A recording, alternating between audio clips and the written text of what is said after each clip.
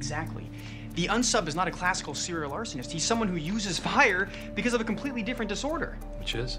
An, an extreme manifestation of OCD, obsessive compulsive disorder. He does everything in threes. And if I'm right, he'll have to kill again. There's a form of OCD called scrupulosity, Religious obsession and compulsion. An obsessive fear of committing sin which creates so much anxiety that he's compelled to do something to ease that anxiety. Like setting fires.